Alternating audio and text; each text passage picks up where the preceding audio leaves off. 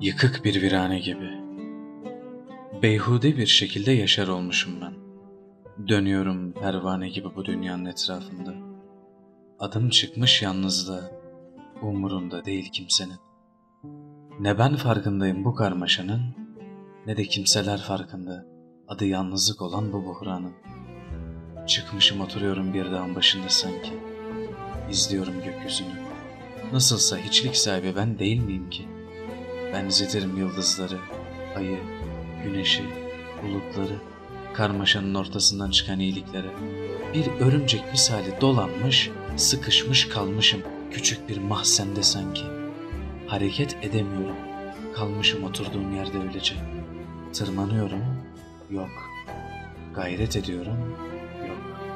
Yokluk içinde bir varlık arıyormuşçasına pusmuşum bekliyorum ehlini. Ses geliyor gibi, yine yok.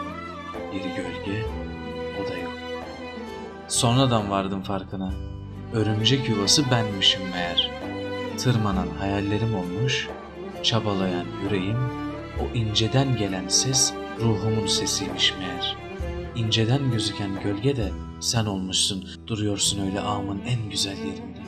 Şimdi sen söyle, ben miymişim seni dolayan bu hayata, yoksa sen miymişsin beni bu gönlünün ortasına hapseden yoksa?''